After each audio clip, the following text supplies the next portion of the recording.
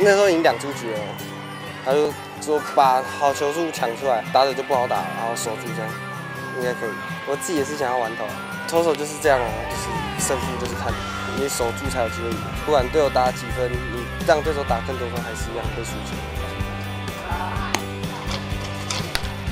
其实我是不太会紧张，我反而比较喜欢丢一些就是会让我紧张的球赛，这样感觉比较刺激。就主打比较不好丢啊，所以就尽量把球压在外面，让他们比较难打这样。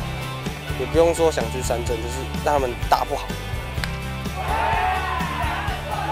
今天表现还不错啊，今天状况调整很好，就叫我那个后脚重心低一点，不要身体看到球身体不要冲出去，做好自己的本分就好，相信自己。